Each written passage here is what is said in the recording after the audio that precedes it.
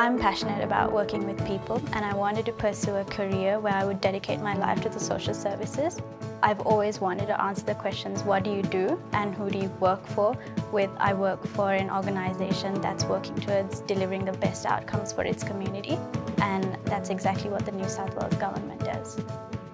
Unlike typical entry-level jobs, the New South Wales graduate program doesn't expect you to conform to preset job profiles. It really valued my background and a discipline that I was very passionate about and that's definitely what attracted me to the program. For the regional coordination team, I'm currently working on mapping mental health and drug and alcohol services for domestic violence perpetrators. I chose to work in a regional town because this opportunity was going to be of invaluable experience to me and I really wanted to understand New South Wales beyond the limits of Sydney. The New South Wales Government is Australia's largest recruiter and employer and the graduate program in particular was ranked fourth among the top 100 graduate employers list by the Australian Financial Review in 2019. My name is Shehara De Silva and I work for the New South Wales Government.